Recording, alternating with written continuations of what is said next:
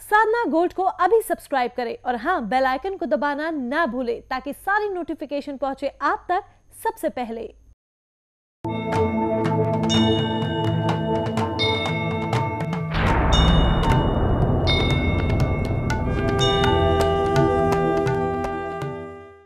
कैसे दुनिया में आया जाए, ये महाभारत सिखाता है। कैसे दुनिया में जिया जाए ये राम चरितमानस सिखाता है और कैसे दुनिया से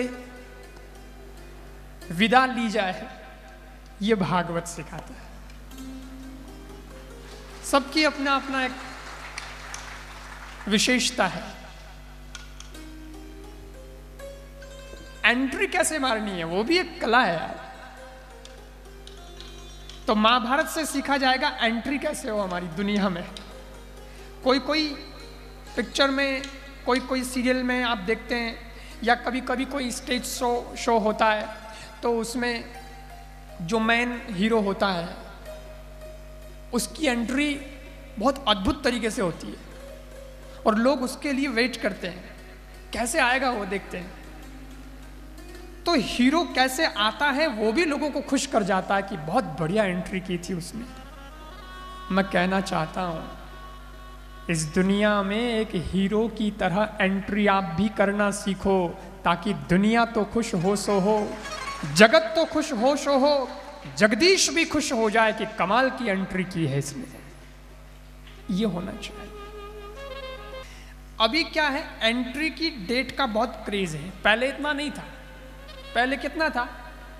सरकारी डॉक्यूमेंट तक सीमित था। अभी तो इंस्टाग्राम का अकाउंट बनते ही पहले ये डेट डालते कि एक मर्डर उस दिन हुआ था। है ना? उस दिन दुनिया में प्रवेश किया था। तो बड़ा वो क्रेज है लिखने का और ये सब जन्म, तारीख वगैरह सब बताने का। तो एंट्री बहुत ज़बरदस्त होनी चाहिए। आया कैसे जाए? इस दुनिया में महाभारत से सीखना है। अभिमन्यु को देखो आप, महाभारत की कथा। अभिमन्यु की जो एंट्री हुई, वो तो कितनी गजब की हुई। उसने अपनी माँ के गर्भ में ही बहुत कुछ विद्या सीख ली। ऑलरेडी अब चूँकि क्षत्रिय का बेटा है, उसको लड़ना है, महाभारत का युद्ध चल रहा है, और ऐसे में उसने सब कुछ सीखा कि महाभारत के इस युद्ध के अंदर मेरी भूमिका क्या होगी, मुझे कैसे व्यू को भेदना है, करना, ये सारा काम। उसकी एंट्री इतनी ज़बरदस्त थी कि वो बहुत छोटी उम्र में चला गया, लेकिन आज भी उसको याद किया जाता है। है ना? अब दूसरी बात। जिया कैसे जाए? ये जीने का भी बड़ा मामला है। लोगों को जीना कहाँ आ रहा है? याद रखिए, श्वासों को लेने का नाम ज़िंदगी नहीं है मात्र। श्वास तो सभी लेते हैं। कीड़ी भी श्वास लेवे, मकोड़ो श्वास लेवे माछर भी श्वास लेवे। श्वास तो सब लेवे, जीव जिता भी है, सब श्वास तो लेवे। तो पछे आपा ही श्वास लेवा, वाणे जूर जू आवा, वाणे जूर जू मर जावा तो पछे मतलब कहिए जीने रो। जीवन तो ऐसा होना चाहिए कि इस दुनिया में आने के बाद आपकी ज़िंदगी महज गंदगी बनकर न रह जाए। प्रभु की बंदगी बन जाए, ऐसी ज़िंदगी होनी चाहिए। ये जीवन है। आप रामचरितमानस पढ़ोगे ना तो आपको समझ में आएगा। बेटो केड़ो होनो बाप केड़ो होनो माँ केड़ी होनी पत्नी केड़ी होनी भाई केड़ा होना सासू केड़ी होनी बहू केड़ी होनी और सबरो अपनो अपनो एक रोल है, अपनो जीवन है कि कैसा कैसा जीवन जिया जाए। भगवान राम जी ने जीवन जिया और आज भी, अब भगवान राम जी तो त्रेता युग में हुए थे ना, उसके बाद तो द्वापर युग आया, द्वापर युग के बाद फिर कलयुग आया, कलयुग को भी इतने साल निकल गए, पाँच हज़ार साल निकल गए, लेकिन उधर वो आठ लाख चौसठ हज़ार निकल गया द्वापर युग। फिर भी इतने लाख साल बीत गए उसके बावजूद भी। राम जी को याद किया जाता है। राजनीति में भी कोई स्पीच कोई कोई कोई स्टेटमेंट देना होता है तो लोग कहते हैं, राम राज्य लेके आना है। वहाँ भी राम जी को याद करते हैं। क्योंकि उनका राज्य ऐसा था, उनका जीवन ऐसा था, उन्होंने प्रजा का हित किया था, उन्होंने सबके हित की बात की थी, सबके भले की बात की थी। इसलिए हर व्यक्ति उनको अपना आदर्श मानता है। मैं निवेदन करना चाहता हूँ सज्जनों, कि इस दुनिया में आपका जीवन ऐसा हो, ज़िंदगी ऐसी हो, कि आपकी मृत्यु भी महोत्सव बन जाए। इस दुनिया से जब जाओ, तब भी उत्सव में जीवन आपका हो। कि भाई, इस आदमी ने जीवन बहुत बढ़िया जिया। कमाल के जीवन, कमाल की ज़िंदगी जी देखो दिवाली रो त्यौहार आवे नहीं तो दिवाली रो त्यौहार मत लक्ष्मी जी रो पूजन हो गए वो तो वही है। लेकिन जो बच्चे हैं, जवान हैं, उनको सबसे ज़्यादा खुशी किसमें होती है? पटाखे फोड़ने में। कि भाई, दिवाली आई है, मैं तो पटाखा फोड़ना बस, आनंद करूँ। तो बड़ा वो होता है। और पटाखा फोड़े, उन्हें बड़ो आनंद आवे। लेकिन इन पटाखा फोड़ने की जो सारी प्रक्रिया है, इन सारी प्रक्रिया में बहुत लोग इन्वॉल्व होते हैं। खूब लोग जुड़े हुए होते हैं ना ग्रुप के साथ में फोड़ते हैं, आनंद करते हैं पूरा। तो इस पटाखे फोड़ने की प्रक्रिया में सबको खुशी होती है, वो ठीक है, लेकिन मुख्य रूप से तीन जनों को खुशी होती है। सबसे ज़्यादा तीन जनों को। किस किस को? नंबर एक देखो, विश्लेषण हो रहा है पटाखे फोड़ने का। आप तो इतने सालों से फोड़ते आ गए, लेकिन कभी सोचा नहीं। अब सोचो। तीन जनों, पटाखे फोड़ने में क्या है? तीन जनों को खुशी होती है। नंबर एक, जो पटाखे बाज़ार से खरीद के लाता है, उसको। नंबर दो, जो खुद पटाखा छोड़ रहा है, उसको जो आग लगाता है, उसको। और नंबर तीन, जो पटाखे छूटते हुए देख रहा है उसको। तीन लोग मुख्य हो गए। उसको हमने वो किया, विभाग बना दिया। लाना जो पैसा खर्च करता है ना, उसको खुशी होती है। क्योंकि पटाखा छोड़ा और पटाखा कर फूटा। तो वो पैसे जिसने खर्च किए, वो कह रहा, वाह, बढ़िया पटाखे लेके आया मैं। शानदार। महँगे थे। पैसे तो लगे, लेकिन फूटते ही पैसे वसूल हो गए।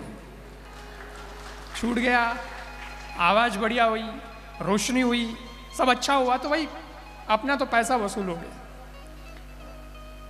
अभी जो छोड़ रहा है, उसको भी गौरव होता है। वो पया वालों के देख मैं लाए जो छोड़ियो तो वो कहे, मैं छोड़ियो जो छूटियो छोड़ने भी तो कला है भाई। तो उसमें भी जिगर चाहिए।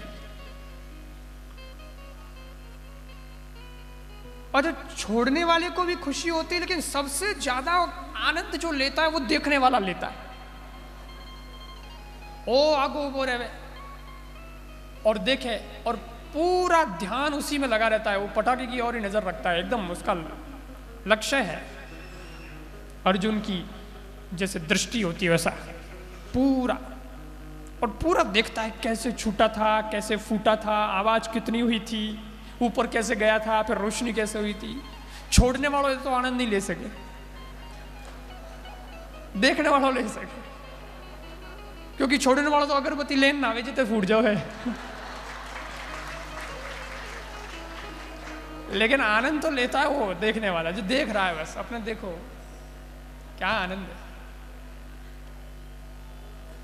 लेकिन एक बात है साहब सारा का सारा खेल किस पे डिपेंड है? किस पे निर्भर है? उस पटाखे पे। वो इतनी फूटियो पे तो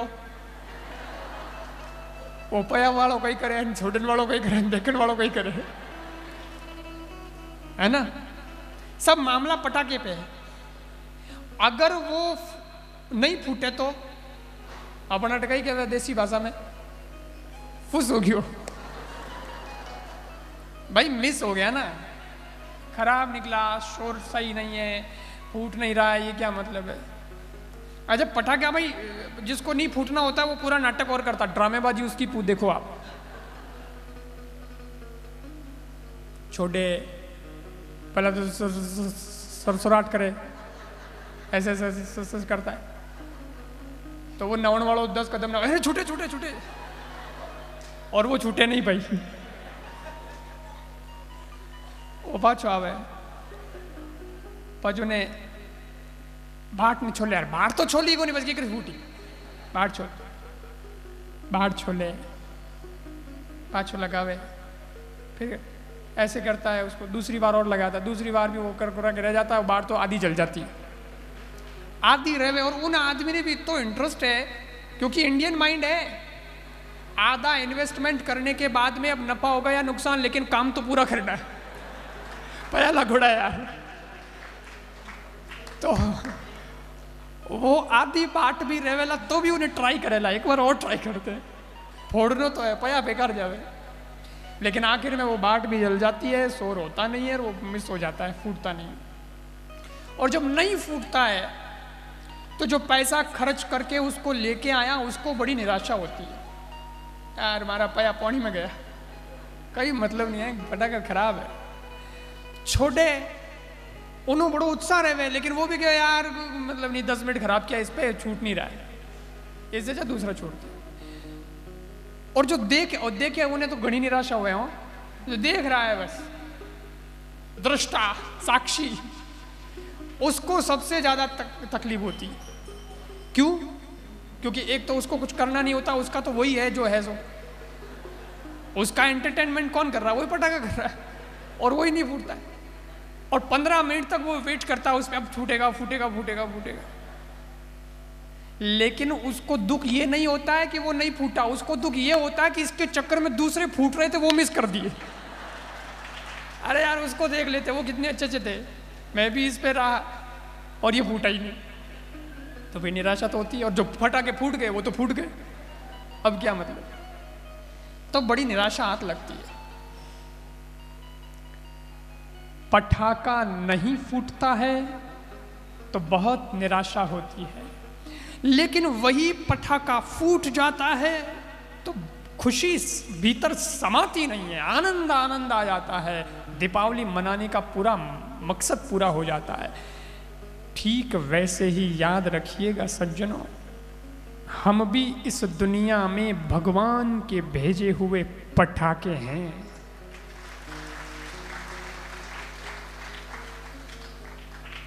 अगर निराशा से ज़िंदगी जी, आनंद से ज़िंदगी नहीं जी, पूरा रस नहीं लिया, हताश रहे, फ्रस्ट्रेशन में डिसअपॉइंट होकर के अगर ज़िंदगी जी ली गैर रेस्पॉन्सिबिलिटी वाली अगर ज़िंदगी जी ली, गैर जिम्मेदाराना अगर जीवन जी लिया, कुछ किया नहीं, बड़ा काम, बस खाए पिए और चले गए तो फुस माने जाएँगे, मिस माने जाएँगे। लोग कहेंगे, इस पे इन्वेस्टमेंट करना ही नहीं था भगवान को। बेकार निकला ये। कुछ किया ही नहीं यार इसने तो। धरती पे भार बन के रहा, कोई मतलब नहीं। लेकिन याद रखना सज्जनों, मैं बात कर रहा था जीने की, कि जीवन जीना सीखा जाए रामचरितमानस से, और जीवन बढ़िया जीने का मतलब है कि ऐसे पटाखे बनकर, ऐसी आवाज़ करना कि लोग सोए हुए जग जाएँ, तुम भी जगो, दुनिया को भी जागृत करके चले जाओ। और तो और, जगत को तो खुशी हो सो हो तुम्हारी ज़िंदगी से, ईश्वर भी खुश हो जाए और कह दे, कमाल कर दिया बंदे, मेरी उम्मीदों पे खड़ा उतर गया तो कमाल करके आया। क्या विस्फोट था तेरी ज़िंदगी का? तूने वास्तव में ज़िम्मेदारी निभाई है। ऐसी ज़िंदगी जियोगे तो हकीकत में दिवाली मन पाएगी। ज़िंदगी की फिर हर दिन दिवाली होगी। हर दिन नया उत्साह, नया उमंग, जीवन ऐसा हो। जीवन एड़ो जीवनो रो तो वो जीवन नहीं जीवनो। आए राम, गए राम हो गए, क्या मतलब? कई लोग तो रोते ही रहे, मैं देखिया। उनको आप कैसा भी देख लो, कुछ भी देख लो, वो रोते ही रहे। अच्छा एक, कई लोग तो एड़ा भी वे, मोनो ही मातो कावे। बहुत दुखी है महाराज। क्या करें? अच्छा भाई, अब अब क्या करें? ऐसा आदमी आ जाए तो उसको तो कुछ कह भी नहीं, कह नहीं सकते, थोड़ा व्यवहार तो रखना पड़ता। है बाकी मुँह नहीं ठाए कि मैं कहीं कर सका? कई जड़ो, करम है, बड़ो बोगनो पड़ी। ठीक है, सांत्वना दे सकते हैं भाई, बड़े भगवान बढ़िया करें। और क्या? अब उन्हें कौन तो ज्ञान देवे? अरे भाई, राम जी ने चौदह साल वन में जानो पड़ियो तो तू तो कई चीज़। है कौन समझाए उन्हें? पण बस, अरे महाराज, बहुत दुखी। क्या दुख है भाई? बेटो नहीं है। कि कर चाली आगे आ तकलीफ़ धंधो नहीं चल रही हो। किने कई तकलीफ़ किने कई तकलीफ़ किने कई तकलीफ़ अरे भाई तो नहीं है तो उसमें हम तो कुछ नहीं कर सकते। धंधा नहीं चल रहा है तो कर्म मेहनत करो भाई। कहीं मेहनत में कमज़ोर, कमी रही होगी। कहीं कुछ गड़बड़ रही होगी। तुम शायद जमाने के साथ चल नहीं पाए होंगे। तुम जमाने की बात को समझ नहीं पाए होंगे। कैसे करना है, कैसे नहीं करना है? बहुत लोगों को जीएसटी लगने पे तकलीफ़ हो गई, क्योंकि कभी दिया हुआ नहीं। अब तो मैं रो आकर के महाराज के पास, में भगवान के पास, में भगवान कंगाल कर दिया। बेचारा भगवान क्या करेगा? भगवान बोलेगा, यार एंड्रॉयड का ज़माना है एप्लीकेशंस का ज़माना है तुम एक सॉफ्टवेयर खरीदते हो, तुम व्हाट्सएप डाउनलोड करते हो, दो महीने बाद उसका भी अपडेट वर्जन आ जाता है। और अपडेट वर्जन अगर तुम अपडेट ना करो तो तुम्हारा व्हाट्सएप बंद हो जाता है। अपडेट तो करना पड़ता है, तू भी अपडेट हो जा जीएसटी भर दे। सीधी सी बात है। अपडेट हो जा, फिर देख धंधे का आनंद कैसा आएगा, फिर पता चलेगा, यार, धंधे की स्टाइल बहुत तगड़ी अब तो आनंद आ रहा है। एक बात बताओ जिसको तैरना नहीं आता वो पानी से बहुत डरता है।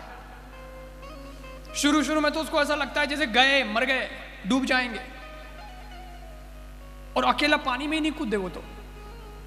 लेकिन जिन्हें तिरनो आवे पचे वो पानी में कदी निकली गुन हो गए यार, तैरने का तो आनंद है। थोड़ा सा भी थकान वकान होती है, जाओ पानी में। स्विमिंग पूल मिल जाए, कोई नदी मिल जाए, तालाब मिल जाए, थोड़ा घंटा भर तैरो, आनंद आ जाता है, एकदम फ्रेश हो जाते हैं हल्के हल्के हो जाते हैं। लेकिन ये ये आनंद कब आता है? तैरना सीखने के बाद आता है। नहीं सीखते, तब तक तकलीफ़ है। ये ऐसा ही है, धंधे में भी। अब उनको समझावे कौन? लेकिन वो रोते ही रहेंगे, वो रोते ही रहेंगे। उनको कुछ भी कर दो, उनको लो सुविधा करो, तब भी रोएँगे। उनको कितना कुछ कर दो, तब भी रोएँगे। उनके लिए प्रार्थना करो, ये करो, अरे भाई, हम भगवान से प्रार्थना करेंगे। तो किसी की ज़िंदगी का कोई आनंद ही नहीं है, कोई मस्ती नहीं है। अरे बदलो यार लाइफ स्टाइल बदलो ज़िंदगी की। थोड़ा आनंद लो ना, उत्साह से लो। क्या रोते रोते ज़िंदगी? रोते रोते जन्म लेना इतने दुख की बात नहीं है। एंट्री अगर थोड़ी गड़बड़ हो गई तो चलेगा। अभी बाकी की फ़िल्म पड़ी है, उसमें तो अच्छा रोल कर ले। हाँ कोशिश करनी कि एंट्री बढ़िया हो। नहीं हुई तो कोई नहीं। अब उस पर रोना क्या? आगे बढ़ो। और एक बात बताऊँ, रोते हुए तो सभी जन्मते हैं। लेकिन एक संत और संसारी के जीवन में फ़र्क क्या है? संत और संसारी के जीवन में इतना ही फ़र्क है कि संत और संसारी दोनों ही रोते रोते जन्मते हैं। संसारी रोते रोते जन्मता है रोते रोते जीता है रोते रोते ही मर जाता है। मगर संत रोते रोते जन्मता ज़रूर है, लेकिन वो रोते रोते जीता नहीं, वो हँसते हंसाते हुए जीता है। और इस दुनिया से विदा भी होता है तो खुद हँसते हँसते विदा होता है, पर दुनिया वालों की आँखों में आँसू छोड़ जाता है। कि आदमी बढ़िया था इसका मतलब संत बनने का मतलब अब ये खाली एक कपड़े पहनने से मतलब नहीं है। कपड़े का तो क्या है? कपड़े का कोई लफड़ा नहीं है। अपने तो पैंट सूट पहनने वाला भी संत हो सकता है, अगर वो हँसते हंसाते ज़िंदगी जी रहा है। हाँ अब ऐसा है। डेफिनेशन बदल दी अब। कपड़ों से खाली कोई नहीं है। कपड़ा पहन लिया यार, मामलो सही नहीं है तो। तो अपने तो गुण होना, जीवन का आनंद लेना, मस्ती लेनी हँसते हुए जीवन जिया जाए। कई लोगों ने तुम्हें देखा बारे तो हंसे, की करो यार, ठीक है सर, ठीक है डुप्लीकेट हँसी। कोई तो हँसते, कई हंसे को नहीं पेट की कब्जी का तो बहुत सुना है किसी किसी की तो हँसी पे भी कब्जी लगी हुई है। कब्जी है हँसी हँसी नहीं आ रही। ये स्थिति अरे खुल के हंस तो जाए। तो हँसते ही नहीं। कई लोगों ने तो मैं देखा, रोवे न कई तो मैं मैं दमिड़ा लेवे। अरे मारे यूँ, भगवान मन इस दुख दियो। ना। मैं निवेदन करना चाहता हूँ सज्जनों कि जीना हो तो फिर ऐसा जीना हो। हमारे शास्त्रों में लिखा है, स्वर्ग है, नीचे नर्क है, धरती के ऊपर स्वर्ग है। अब वो स्वर्ग है तो सही है, सुना है, देखा तो है नहीं। अच्छा तो कौन पढ़ियो नहीं, देख लो। जहाँ जब देखी लागे।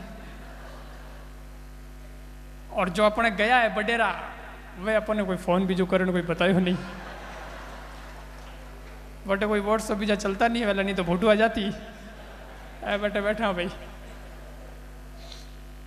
तो ऊपर वाला तो मालूम नहीं है है कि नहीं है, कि है तो कैसा है, बड़ा है, छोटा है, कितने लोगों की रहने की कैपेसिटी है, क्या है है?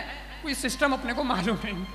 लेकिन मैं एक ही बात कहता हूँ कि हमेशा यही मत रखो कि मरने के बाद स्वर्ग जाएँगे, मरने, ये तो है, ठीक है, मरने के बाद जब जाएँगे तब जाएँगे, लेकिन हो सकता है स्वर्ग में भीड़ ज़्यादा हो हो सकता है कि आपको जगह मिले या न मिले तो कुछ ऐसा किया जाए, ज़िंदगी को ही कुछ ऐसा जिया जाए कि वहाँ स्वर्ग जाने की ज़रूरत ना पड़े, स्वर्ग को ही धरती पर लाया जाए। स्वर्ग को ही अपनी ज़िंदगी से धरती पर उतार दो ना। आप ऐसा जीवन जी लो कि लोगों को लगे यार इस आदमी के पास बैठे रहो यार लग, इसके पास बैठते तो ऐसा लगता है जैसे स्वर्ग में ही बैठे ऐसा जीवन जियो ना।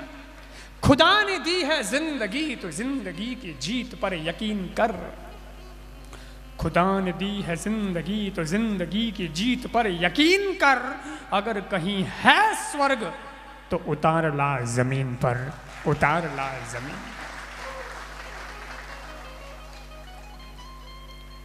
और आप तो स्वर्ग में ही बैठा हूँ। और हरिद्वार कोई स्वर्ग कम है गई। स्वर्ग में ही, और ये कथा सुन रहे हैं, सत्संग सुन रहे हैं, स्वर्ग में ही तो बैठे। संत कबीरदास जी ने क्या लिखा? राम बुलावा भेजिया। दिया कबीरा रो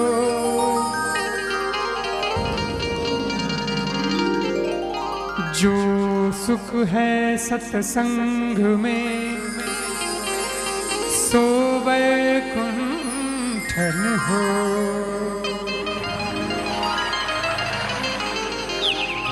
संत कबीरदास जी के वहाँ, भगवान के वहाँ से कॉल आया कि चलिए, आपको सीट मिल गई है। पधारिए संत कबीरदास जी ने मना कर दिया, बोले, नहीं। बोले, क्यों नहीं? वैकुंठ में तो सब आना चाहते हैं भाई, नरक में थोड़ी ले जा रहे हैं आपको। नरक में कोई नहीं जाना चाहता, लेकिन वैकुंठ में तो सब जाना चाहते हैं और हमने स्पेशली आपको बुलाया है, हम भी चाहते हैं कि आप जैसा महापुरुष वहाँ होगा तो हमारे वैकुंठ की भी शोभा बढ़ेगी और आपकी आपको हम सारी फैसिलिटी दे रहे हैं। आइए ना, कितना अच्छा है वैकुंठ। सब लोग आना चाहते हैं। संत कबीरदास जी ने कहा वैकुंठ में क्या क्या फैसिलिटी है जी? भगवान बोले, हम हैं, लक्ष्मी जी हैं और बहुत सुविधाएँ हैं। आपको है ना, कुछ करना नहीं पड़ेगा। नौकर, चाकर, दास, दासी सब सेवा में लगे होंगे। सब आपकी सेवा करेंगे। आपको कुछ करना ही नहीं पड़ेगा। आपके ऑर्डर पे सारा काम हो जाएगा। बहुत आनंद है। बोले, बहुत आनंद है? वो तो ठीक है। आप भी हैं, वो भी ठीक है। पर एक बात बताओ, आपकी कथा है कि नहीं? आपकी सत्संग वहाँ पे होती है कि नहीं? कुछ भजन, कथा वगैरह कुछ ऐसा कुछ होता है? आपकी चर्चा होती है? भगवान बोले, हम होते हैं तो हमारी चर्चा नहीं होती। हम होते हैं, क्योंकि हमारी चर्चा करने वाला तो दूसरे लोग होते हैं, वो लोग करते हैं हमारी गैर मौजूदगी में। अब हम बैठे हैं तो फिर कौन करे? हमारी चर्चा हम खुद तो करते नहीं, हम होते हैं बस। एक्टिविटीज़ होती रहती है, सब लोग अपना अपना काम करते हैं, बाकी सत्संग वगैरह नहीं होती वहाँ पे, वो पंडाल वंडाल नहीं लगता कथा वथा नहीं होती। कबीरदास जी बोले तो फिर रहने दो, मेरे तो यही वैकुंठ है। आप ना सही, आपकी कथा ही वैकुंठ है। यहाँ धरती पे तुम्हारी कथा है, सत्संग है, भजन है, मुझे इसी में आनंद है। इसका मतलब ये हुआ कि भगवान की कथा अगर सुनने को मिलती है तो ये किसी स्वर्ग से कम नहीं है। ये ज़मीन पर उतरा हुआ स्वर्ग है। तो कितना आनंद है, सज्जन। ज़िंदगी तो ऐसी होनी चाहिए। जीवन सीखना है रामचरितमानस से, और मरना सीखना है श्रीमद भागवत महापुराण से। आप भागवत मरणों सिखा ले मरना है।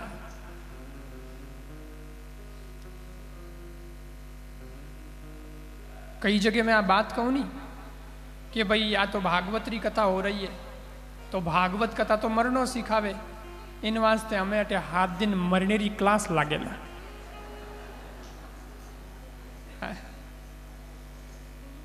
तो बहुत सारे लोग होते हैं, वो बोलते हैं, नहीं नहीं, हमारा फॉर्म मत भरना इस क्लास में। अरे बोले, अभी तो जीना है और तुम मरने की बात कर रहे हो। अभी तो जीना है। लेकिन सज्जनों, ये मरना कौन सा मरना है? ये ऐसे मरना नहीं है। कोई सुसाइड थोड़ी कर रहे हैं। आत्महत्या नहीं हो रही है। मरने का मतलब क्या है? मरने का मतलब बहुत अर्थ, प्यारा अर्थ है।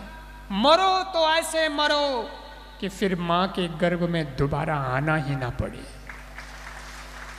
पुनरपि जननम, पुनरपि मरणम, पुनरपि जननी जठर शयनम। ये संसारे खलुदस्तारे कृपया पाहे, पाहि मुरारे।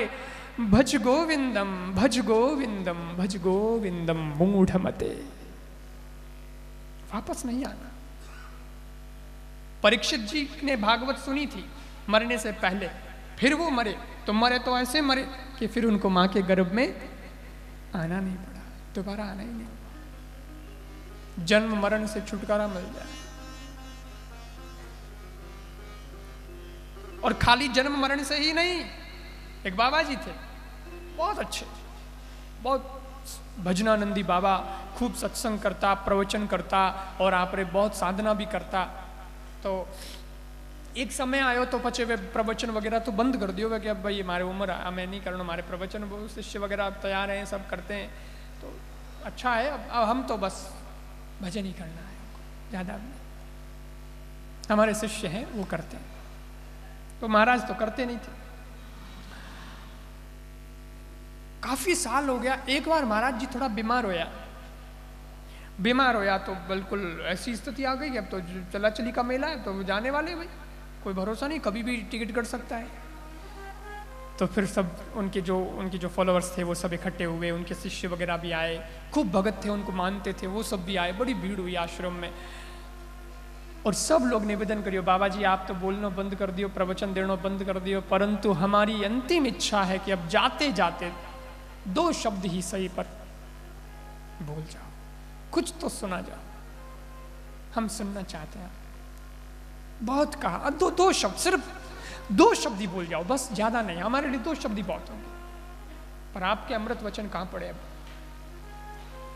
घणो कहो तो संत एकदम तैयार हो रहे ठीक। दो शब्द बोल जाओ बस, दो शब्द। बोले, दो ही बोलूँगा। और महाराज जी सिर्फ़ दो शब्द बोले, ज़ोर से बोले जाते जाते बोले, मर जाओ। वो गए। और महाराज तो गए और में गया बरा पर दो शब्द बोलने थे तो दो शब्द बोले। एक शब्द था, मर। दूसरा शब्द था, जाओ। मर जाओ। मर जाओ।